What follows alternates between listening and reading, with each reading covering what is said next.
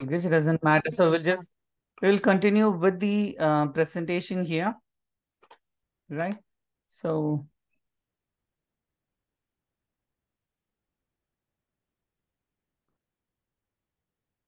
yes.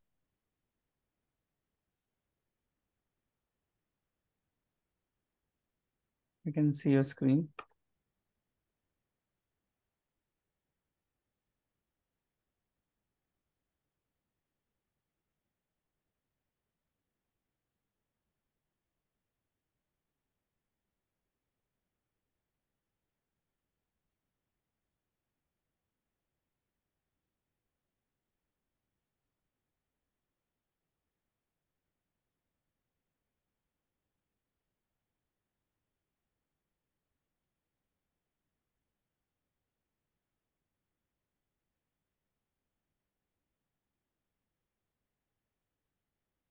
Get yours organized first, Chaman Baba. Okay, fine. So we are continuing with the mechanism of actions. Okay, right.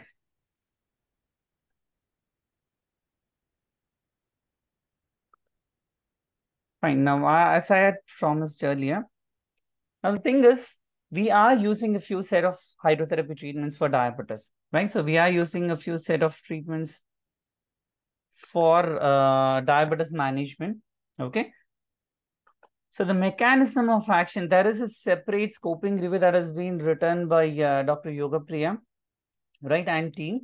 So which talks about exclusively the hydrotherapy management for type 2 diabetes. It's, it's kind of a scoping review. It's not a systematic review or meta-analysis of that sort, but still it has got like a decent kind of evidences on how different temperature applications has an impact. Okay. Um, to begin with, to begin with, what cold application actually does is browning of adipose tissue, right? Now, the browning, I hope you have heard about this uh, white adipose tissue and brown adipose tissue. The difference between that is, as the color suggests, in brown adipose tissue, uh, the browning is because of its increased thermogenesis. Uh, the brown adipose tissue has more mitochondria when it compared to white adipose tissue cells, right? So what happens is cold application increases the conversion of white adipose tissue to brown adipose tissue so that thermogenesis happens in the patient's body throughout. So that's going to um, that's going to be excuse that's going to be helpful not just in weight reduction but also in increasing the glucose metabolism part. And one more thing is about the cold application also activates this uh, TRPM8 this is a temperature sensitive ion, um, usually stimulated by menthol. Like I've, I've, I've thought about like most of the times, if you're eating chili, right? If you're eating chili, what happens is your tongue is burning, isn't it? Your tongue is burning. That's because of the taste buds, this, that, and other things. But if you're applying a chili powder on his skin, it burns there as well. It doesn't have a taste bud there, right? why this this change is happening is because of this ion change and ion exchange and all those things likewise for cold application when you're keeping a menthol like uh, uh, mint polo or anything of that sort in your tongue you're feeling that chill sensation likewise anything related to mint either it be a, a cream or a soap or anything of that sort you're going to feel that chillness. That is because of this trp m8 activation. What this does is whenever you're you're giving a cold application or menthol or ice or cold water whatever it is that is going to act or that is going to work via this TR, sorry trpm8 ion activation which is going to promote browning of adipose tissue. And the third thing is uh, GLUT4 translocation. The glucose transporter 4 translocation happens naturally with cold application. Now, what are these glucose transporters are? Um, let us take a common muscle cell. The common muscle cell, when insulin comes and sits on the surface of the cells, right? So what we call as insulin receptors, it's going to come and uh, sit on the cell surface on the insulin receptors. That's going to cascade a set of reactions inside the cell and then it is going to open up a gate or a channel through which glucose enters. We simply we say it as a lock and key. Insulin is like a key which opens the lock And then glucose is not going to enter via the keyhole. Like we are not entering into the house via the keyhole. The key opens the door. We open the door and we enter through the door. Isn't it? Isn't it? We enter through the door. We don't just enter into the door. We don't go into anyone's house until and unless someone comes and invites us inside the house. Likewise, a glucose will not, cannot enter into the cell until and unless this insulin setting up a cascade of channels allows the glucose transporters to go outside and bring the glucose into the cell. Just, just imagine glucose is very shy. Like if you're going to a marriage, like if you're going to a new place, you need someone to welcome you into the uh, into the marriage hall or somewhere, right? That's why we have like few people sitting or standing on the reception. Why? Why we have a reception desk is because to invite people to come in. Now this glucose transporter 4, it's like the uh, person sitting in the reception. They are going to invite the glucose into the cell. Until and unless this happens, there will be insulin resistance. And few of the ways how that is done, this uh, GLUT4 translocation, how it happens is one thing is with insulin. Insulin has got a direct impact. The second thing through which it happens is, is through the physical activity. Whenever you contract a muscle, right? Whenever you're contracting a muscle, either it be the iso or isotonic exercises when you're going to gym or isometric exercises when we are doing asanas, the same thing happens. Muscle contraction, which results in glucose transporter translocation. Now, this happens with cold application as well. Okay, glucose transporter translocation happens with uh, cold application as well. And the next thing is, and next interesting thing here is, increased visceral circulation results in closure of ATP sensitive potassium channels, right? AMP kinase, there's something called AMP uh, kinase pathway. This is all like cellular mechanism. I don't want to go very deep into that. Um, so what happens is whenever you're doing a physical activity, whenever you're contracting a muscle, it takes some energy. ATP, we all know ATP is the energy currency. We think glucose gives us energy. Glucose has to, after drinking glucose, it has to get digested, it has to get absorbed, assimilated, enters into the cell, where glucose gets metabolized and just releases ATP, which is the energy currency. I mean, even though we're getting salary, even though we're getting paid, we, even though we're getting the stipend and other things, it's all in the bank. You have to go to ATM, get the money before spending it, right? So we can spend only ATP. We cannot spend glucose.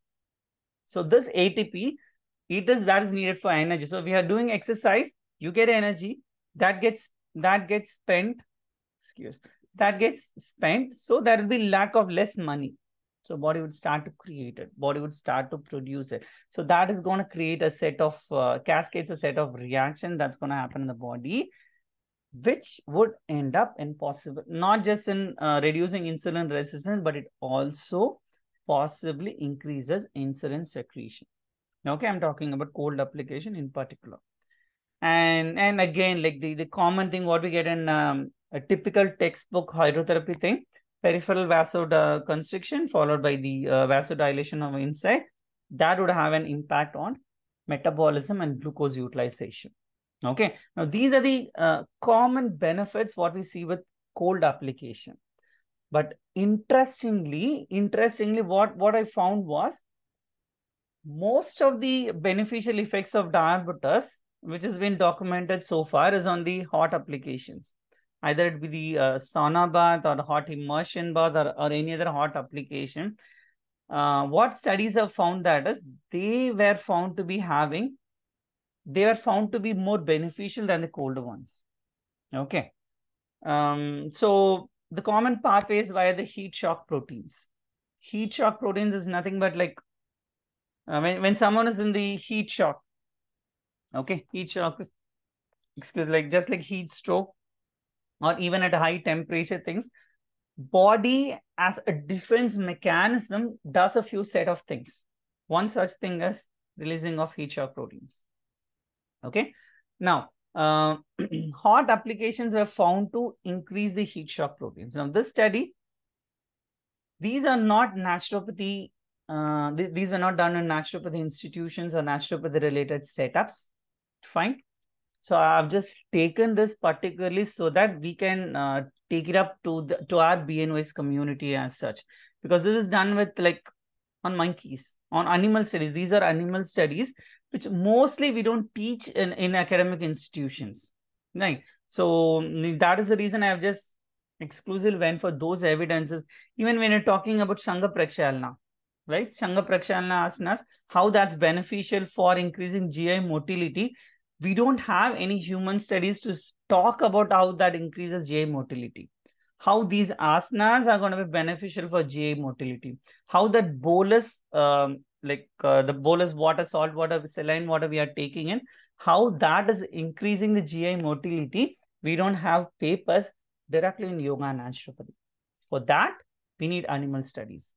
Okay, so this is one such animal studies. So what they found was um, heat shock protein 70 with heated hydrotherapy treatments. What they found was the heat shock protein 70 was found to improve. Now this HSP 70. Okay, this H this 70 it's all based on their um, what to say based on the daltons like their atomic weight and other things they made it like 60 70 80 90 and things anyway these are all like set of uh, heat shock proteins they are instrumental in protein folding protein folding it is like um, we know insulin is an it, it's a it's made up of chain of amino acids right it is like chain of amino acids all the amino acids put together we have this mala called as insulin now, now it has to be folded in certain way to make the insulin work in an effective way.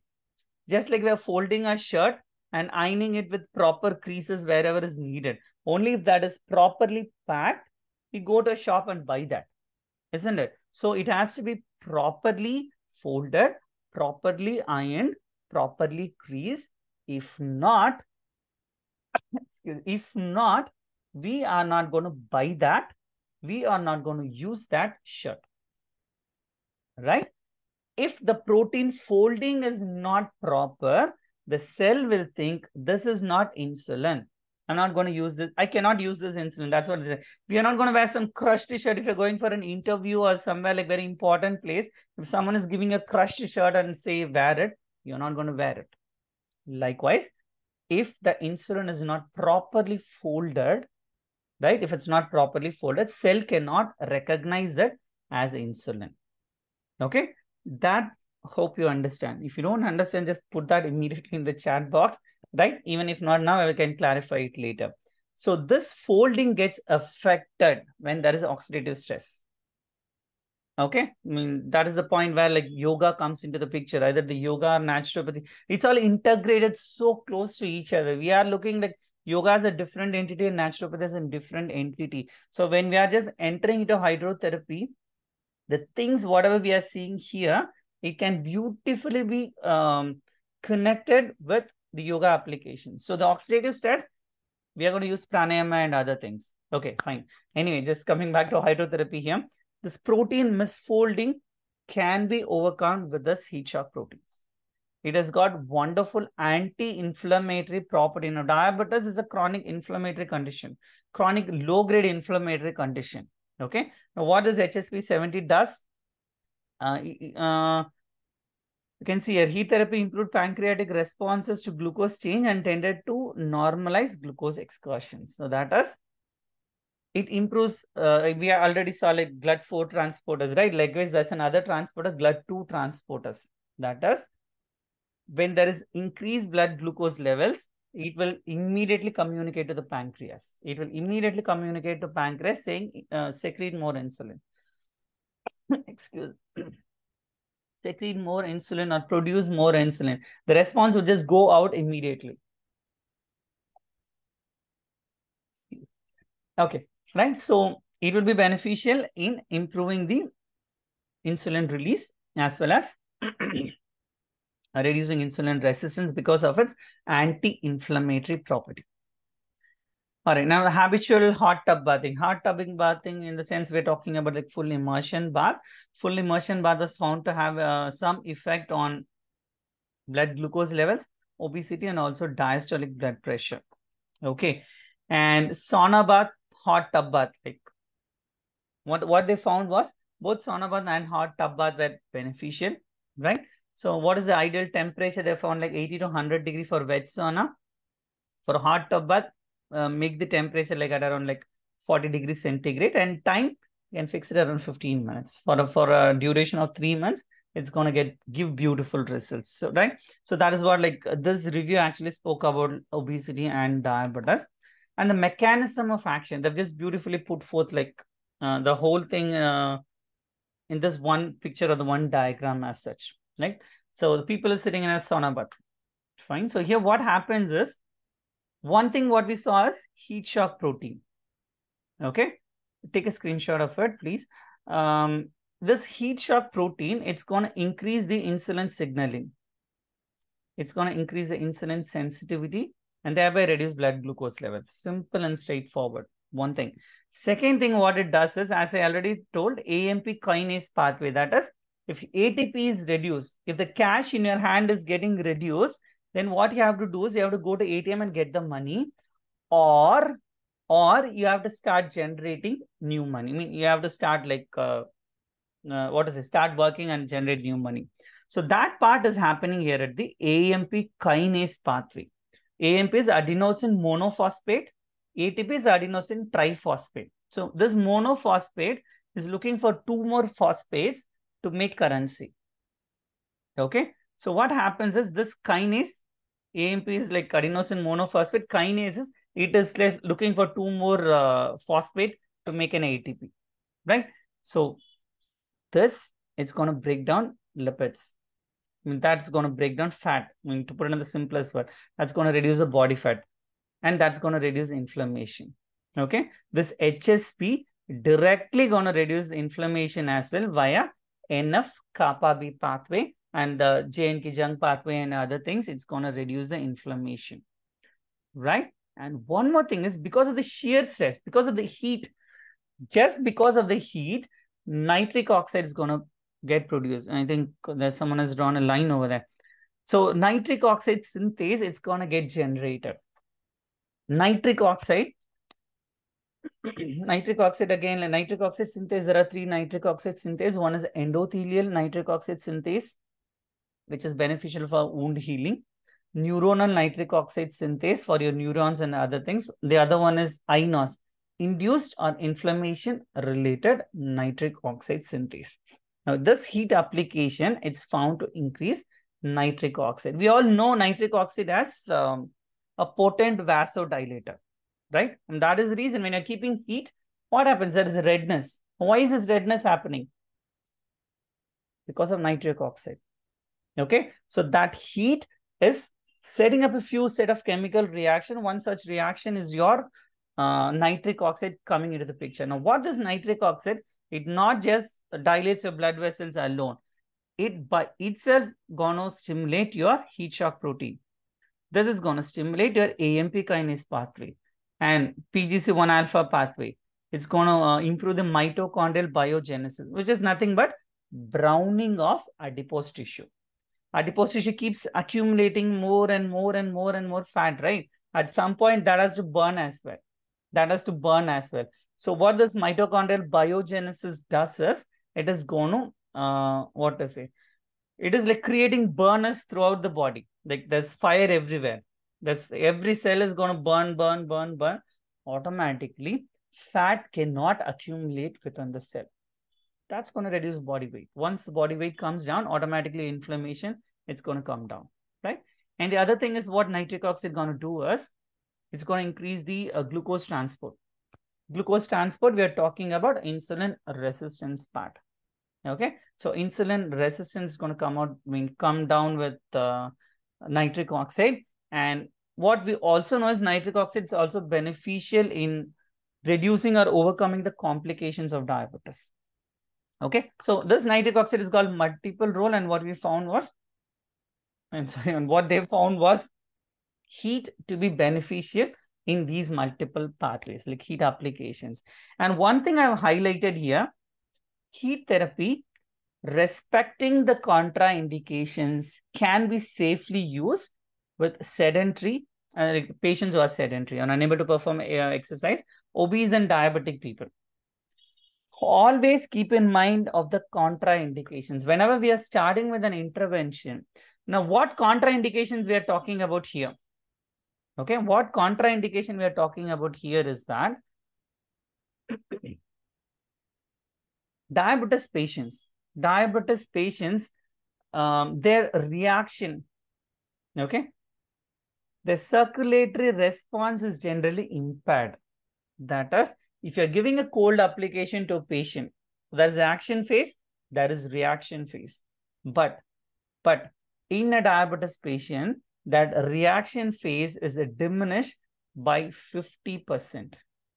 Okay, by 50%. So please be careful. Though. And one more thing is about the neuropathy.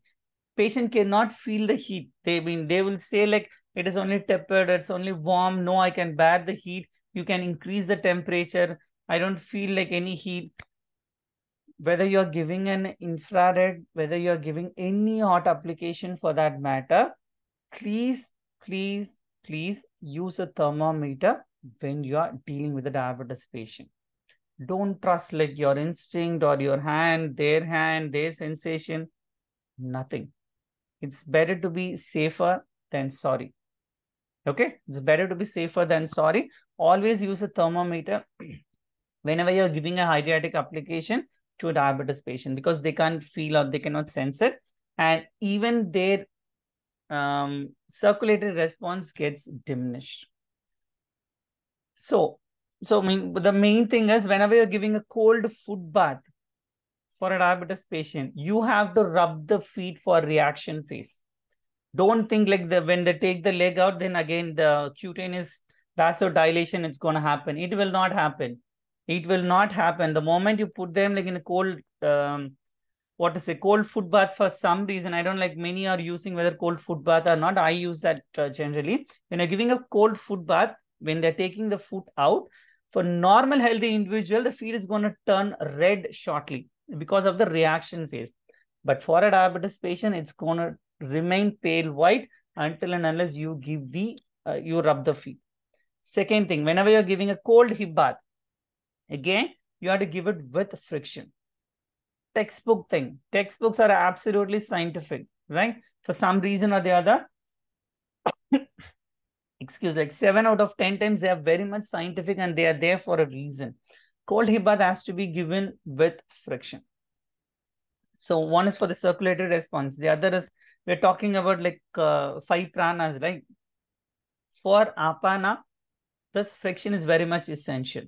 To activate an apana when you're sitting in cold hip bath, this uh, cold hip bath with uh, friction is very, very important. And the third is avoid hot application if you do not have a thermometer in a clinical setup.